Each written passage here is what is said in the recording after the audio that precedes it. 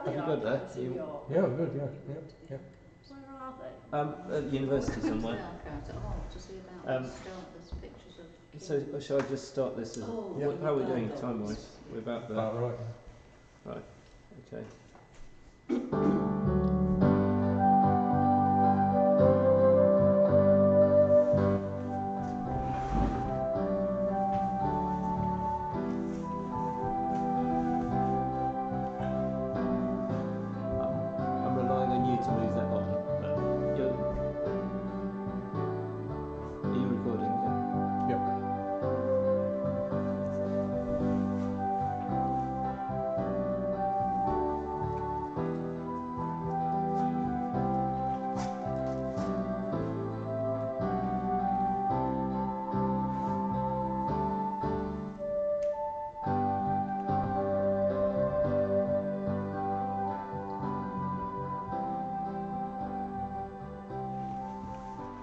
Loving Lord, we gather here and in this moment to worship you.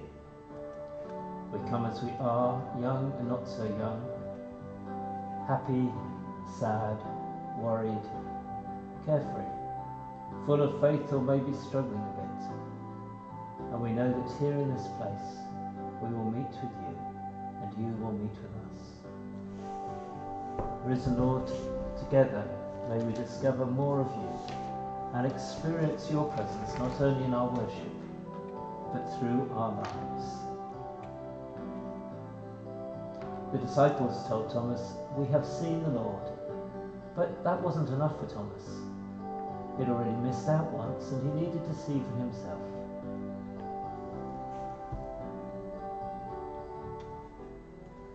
We gather today determined not to miss out on anything you have in store for us. Our doors and hearts are open to you, O Lord. Risen Jesus, meet us here today. We need to meet you for ourselves. Come, Lord Jesus. Amen. So we're going to have a song which uh, we have had before, and uh, you may well remember. Uh, it's quite uh, gospel and it's quite repetitive, so um, that should make it relatively straightforward to uh, sing along to uh, soon and very soon.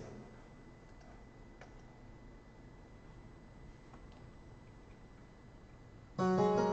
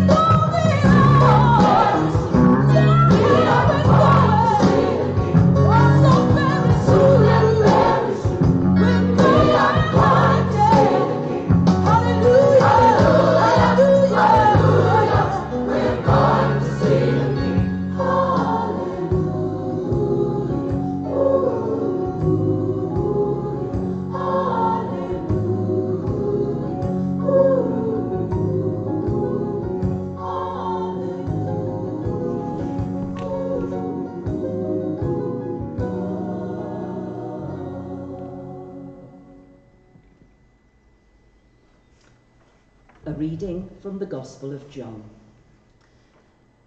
That Sunday evening, the disciples were meeting behind locked doors because they were afraid of the Jewish leaders. Suddenly, Jesus was standing there among them. Peace be with you, he said. As he spoke, he showed them the wounds in his hands and his side. They were filled with joy when they saw the Lord. Again he said, Peace be with you. As the Father has sent me, so I am sending you. Then he breathed on them and said, Receive the Holy Spirit. If you forgive anyone's sins, they are forgiven. If you do not forgive them, they are not forgiven. One of the twelve disciples, Thomas, nicknamed the twin, was not with the others when Jesus came. They told him, We've seen the Lord. But he replied, I won't believe it unless I see the nail wounds in his hands, put my fingers into them, and place my hand into the wound in his side. Eight days later, the disciples were together again, and this time Thomas was with them. The doors were locked, but suddenly, as before, Jesus was standing among them. Peace be with you, he said. Then he said to Thomas, Put your finger here and look at my hands. Put your hand into the wound in my side. Don't be faithless any longer. Believe. My Lord and my God, Thomas exclaimed. Then Jesus told him, You believe because you have seen me. Blessed are those who believe without seeing me. The disciples saw Jesus do many other miraculous signs in addition to the ones recorded in this book. But these are written so that you may continue to believe that Jesus is the Messiah, the Son of God, and that by believing in him, you will have life by the power of his name.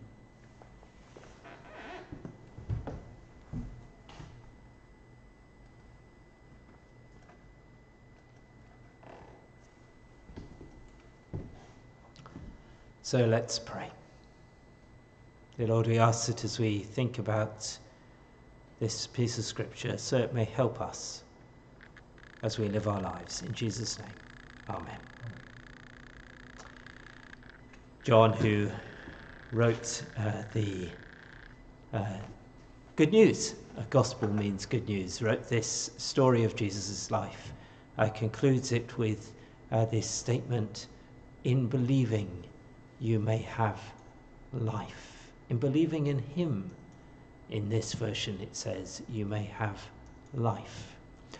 And so it is that John was very convinced that we would gain a fullness of life through what Jesus does for us. by the power of his name, by the touch of his spirit, by the actions that he has done for us. In Thomas, we see somebody who, uh, the story goes, uh, doubted and then believed. And then, uh, if uh, legend is to be believed, uh, went out and uh, became a disciple going a long way, one of the furthest people. Uh, it's claimed he was the first uh, disciple to go to India and to bring the good news there. Whether that's true or not, it still follows that Jesus gives us the opportunity to have something that we didn't have before. And in their context, uh, this was all the more true because uh, for them, they lived in a repressive society uh, under religions which were often controlled by powerful people who uh, ran them and uh, used them for their own ends. And uh, in many of the religions of the world, there have been times of great control and ways of being which have not been life giving. Uh, and sadly, that can be also said to be true of Christianity. But if we read truly the story of Jesus, the story that uh, John writes down in his good news, and see truly what he is about, we see somebody who is uh, setting us free from all that tyranny of power within religion, of that tyranny of control into being those who are given the freedom of life, connected directly to God, and through that direct connection to God, able to grow and develop into our own beings full of the goodness and power of God. Set free even from our own tyranny. And our own tyranny is one that we might describe as sin.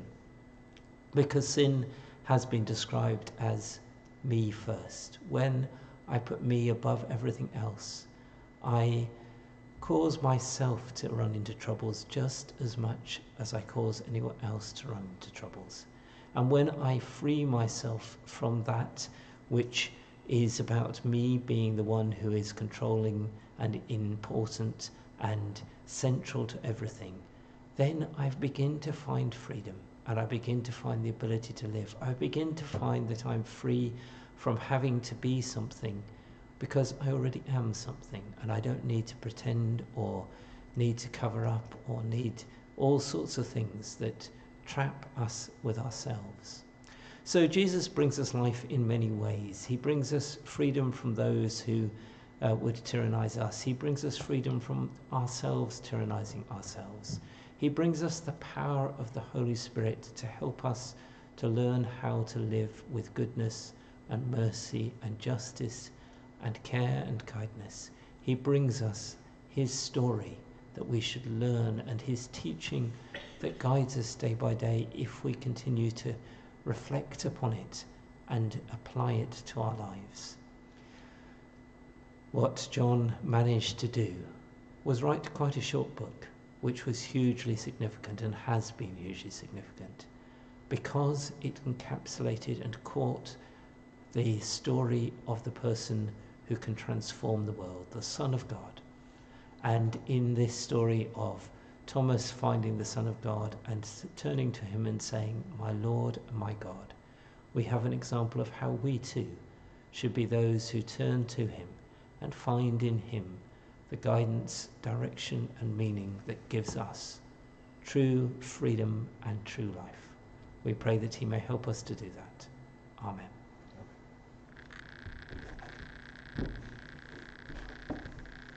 We're going to move on by having a song which talks about being a new creation. But I, again, it's one of these songs that I've known for a very, very long time, and I imagine uh, everybody else does, but maybe uh, everybody else doesn't. Uh, in which case, I'm sure you'll learn it as you go along, or you can just listen to it.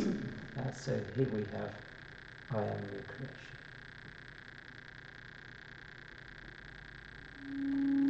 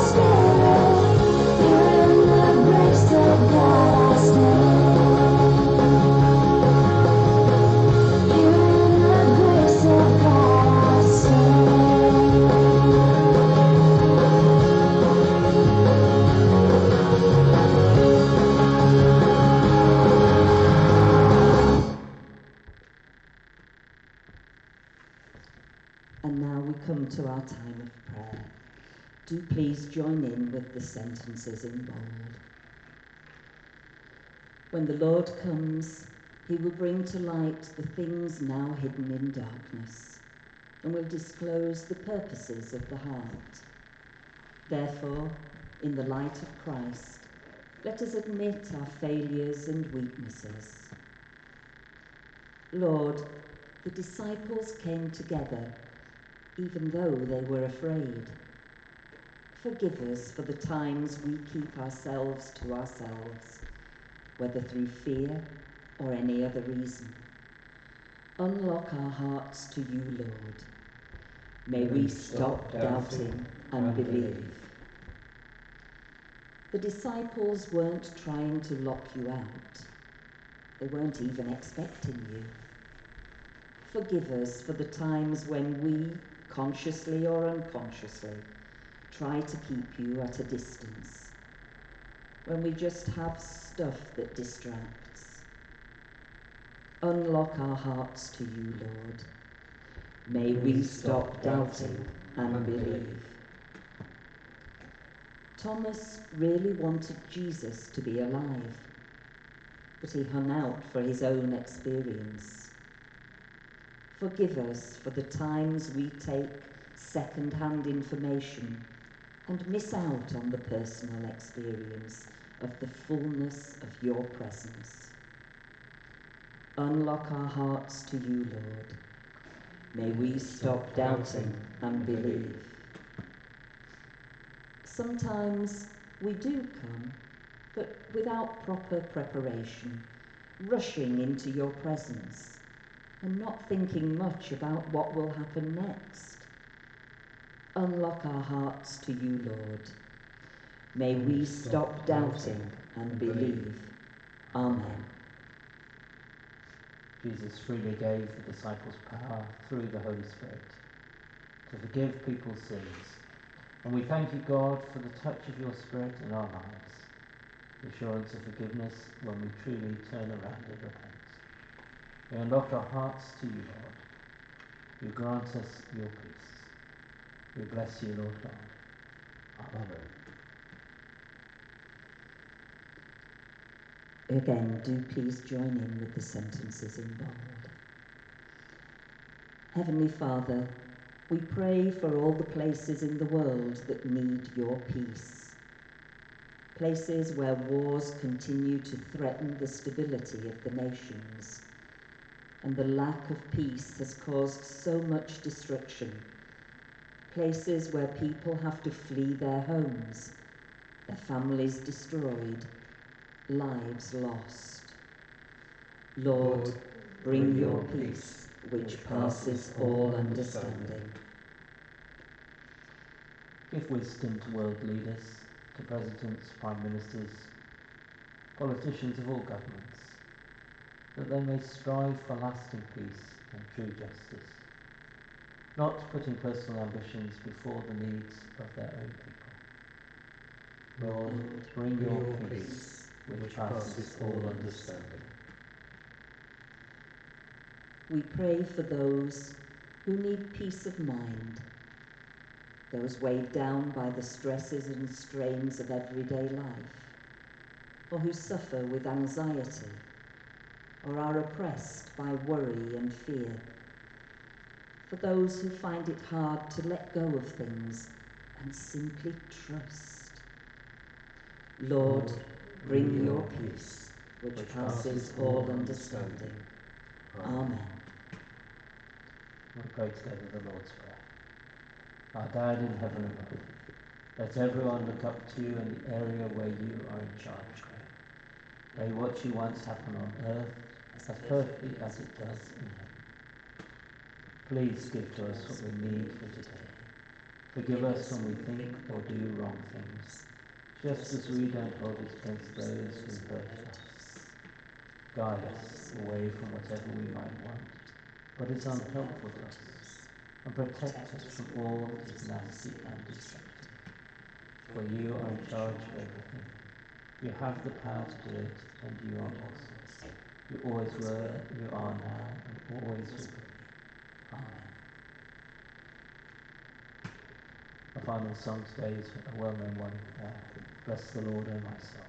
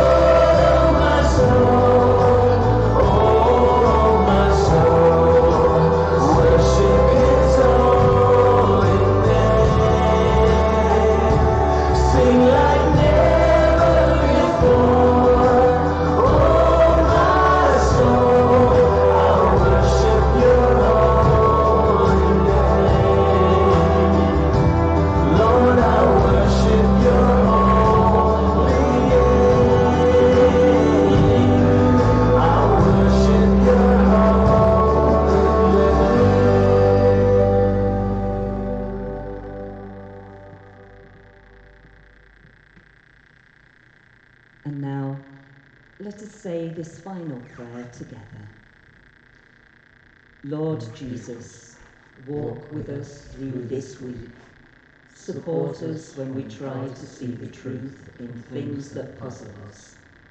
Give us courage to search for answers and hold us in your unfailing and all encompassing love each and every day.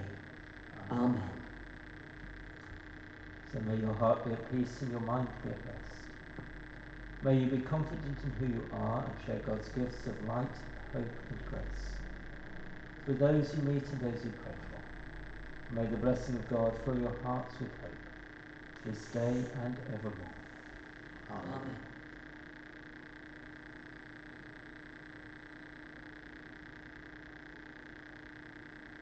Wayalana langai. Kaga mayana kaya mungkin jadi pindah acara. Ona nama wasma nama semua.